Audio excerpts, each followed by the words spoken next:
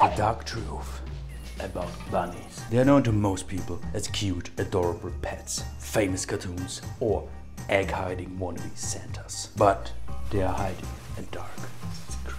Bunnies, or also known as rabbits, are cannibals. But they eat not any old random rabbit. No, they eat their own children. Stress can drive them to do some weird stuff. But it is not enough for those little buggers to eat their own flesh and blood.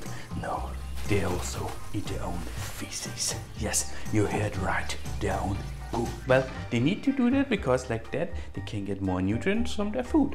And worst of all, they can't even be disgusted at themselves because they cannot puke.